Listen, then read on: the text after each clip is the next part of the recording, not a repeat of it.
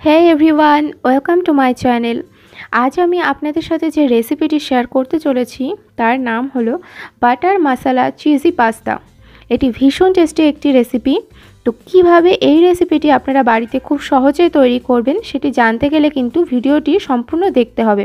তো ভিডিওটি আপনারা দেখতে থাকুন, আর আমি বেশি কথা না বাড়িয়ে চলে এলাম রেসিপিতে এখানে একটা ফ্রাই প্যান গরম করে আমি তাতে কিছুটা তেল দিয়ে দিলাম। দিয়ে তার মধ্যে দিয়ে দিচ্ছি হাফ চামচ আদা কুচি এবং হাফ চামচ রসুন কুচি। এই সব কিছু কয়েক সেকেন্ড একটু ভেজে নিতে হবে। নিয়ে এর মধ্যে আমি একটা মিডিয়াম সাইজের পেঁয়াজ কুচি দিয়ে দিলাম। দিয়ে সব কিছু ভালো করে একটু ভেজে নেব। আর এর মধ্যে আমি কিছুটা বাটার দিয়ে দিলাম। এক চামচ মতো বাটার দিয়ে দিলাম। বাটারটা গলে গেছে, এবার পেঁয়াজের সাথে সব কিছু খুব ভালো করে মিশিয়ে নিচ্ছি। দেখুন পেঁয়াজটা ভাজা হয়ে গেছে, এর থেকে বেশি ভাজবো না। এবার এর মধ্যে আমি দিয়ে দিচ্ছি কাঁচা লঙ্কা কুচি এবং দিয়ে দিচ্ছি টমেটো কুচি। টমেটোটা কিন্তু আমি একদম ছোট ছোট করে কুচো করে কেটে রেখেছি। এবার সব কিছু একসাথে মিশিয়ে ভালো করে ভেজে নিচ্ছি। এর মধ্যে আমি দিচ্ছি এক চামচ জিরে গুঁড়ো, দিচ্ছি স্বাদ অনুযায়ী লবণ, আর দিয়ে দিচ্ছি হলুদ, দিচ্ছি হাফ চামচ মতো ধনে গুঁড়ো। এবার সব কিছু খুব ভালো করে মিশিয়ে নিচ্ছি।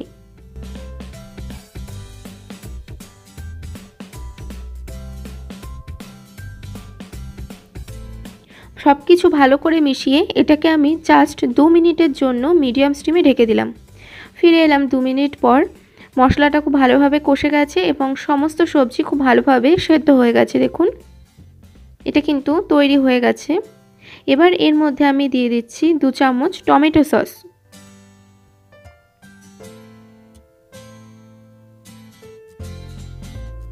এবং দিয়ে দিচ্ছি দু চামচ রেড চিলি সস দিয়ে সব কিছু খুব ভালো করে মিশিয়ে নিচ্ছি।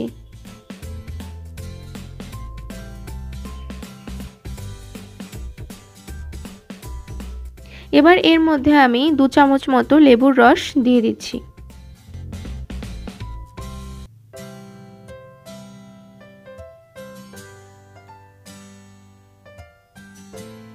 এটা তৈরি হয়ে গেছে। এবার এটাকে আমি নামিয়ে নেব। এটা আমি ঠান্ডা হওয়ার জন্য রেখে দিয়েছি সাইডে। এবং এখানে একটা কড়াই নিয়ে তাতে কিছুটা জল দিয়ে দিচ্ছি। জলটা গরম হতে দিয়েছি। এবং দিয়ে দিচ্ছি দু চামচ মতো তেল। এবং দিয়ে দিচ্ছি সামান্য একটু লবণ। এবার এর মধ্যে আমি দিয়ে দিচ্ছি পাস্তা। আমি এখানে পাস্তাটা সিদ্ধ করে নেব। পাস্তাটা কিন্তু খুব বেশি সময় সেদ্ধ করা যাবে না। জাস্ট দেড় থেকে দু মিনিট সেদ্ধ করে নিলেই পাস্তাটা একদম পারফেক্টলি সেদ্ধ হয়ে যাবে। পাস্তা আমার সেদ্ধ হয়ে গেছে, দেখুন। এর থেকে বেশি সেদ্ধ করা যাবে না। তাহলে বেশি সেদ্ধ যদি হয়ে যায়, পাস্তার কিন্তু স্বাদটা নষ্ট হয়ে যাবে। তো আমি জল ঝরিয়ে পাস্তাটা এখানে তুলে রেখেছি, দেখুন। আর এখানে আমি পাস্তা সেদ্ধ করা জলটা রেখে দিয়েছি। এই জলটা কিন্তু ফেলা যাবে না। এই জলটা পরে কাজে লাগবে।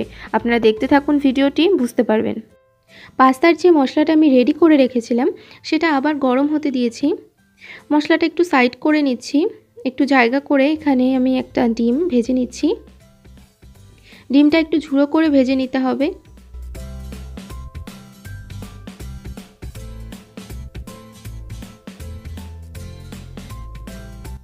ডিমটা ঝুড়ো করে ভেজে নিয়েছি। এবার মশলার সাথে ডিমটা খুব ভালো করে মিশিয়ে নিচ্ছি।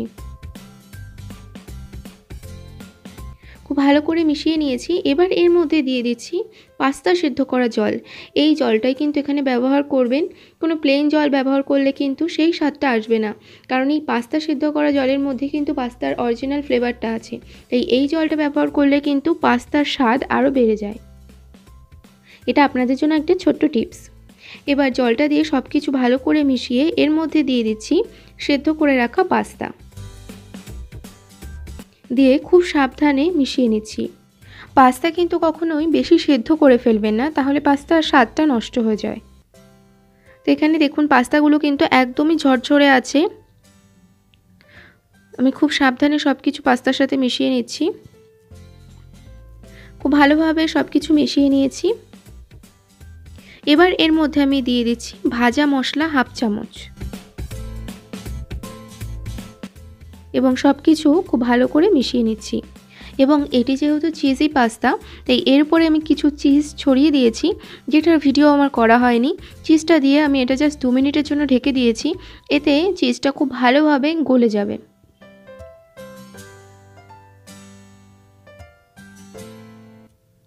ফিরে এলাম দু মিনিট পর। দেখুন চিজটা কিন্তু খুব ভালোভাবে গলে গেছে। আর এই চিজটা কিন্তু বাড়িতেই তৈরি। এর রেসিপি আমার চ্যানেলে আছে। আমি ডেসক্রিপশন বক্সে লিঙ্ক দিয়ে দেবো। আপনারা দেখে নেবেন। চিজটা খুব ভালোভাবে গলে গেছে। এটা একটু আমি জাস্ট নাড়াচাড়া করে সব কিছুর সাথে মিশিয়ে নিচ্ছি হালকা করে। আর পাস্তাটা কিন্তু একদম রেডি হয়ে গেছে। দেখুন, এটা একদমই রেডি হয়ে গেছে। পাস্তাগুলো এখনও ঝরঝরে আছে। কোনোটা কিন্তু ভেঙে যায়নি।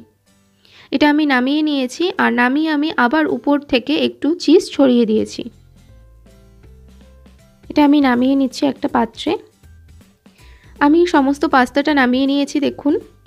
তো ফ্রেন্ডস আমার চ্যানেলটি যদি আপনাদের সাবস্ক্রাইব করা না থাকে, তাহলে তাড়াতাড়ি চ্যানেলটি সাবস্ক্রাইব করে ফেলুন এবং পাশে থাকা এই বেল নোটিফিকেশানটি অন করে দিন এবং অলে ক্লিক করুন। তাতে আমার চ্যানেলের সমস্ত ভিডিওর আপডেট আপনারা খুব সহজেই পেয়ে যাবেন। আর আজকের রেসিপিটি যদি ভালো লেগে থাকে, তাহলে ভিডিওটিতে একটি লাইক করবেন, বাড়িতে ট্রাই করে অবশ্যই কমেন্ট করে জানাবেন, আর সবার সাথে শেয়ার করবেন। আজকের রেসিপি এই পর্যন্তই। আপনারা ভালো থাকবেন, সুস্থ থাকবেন। ধন্যবাদ।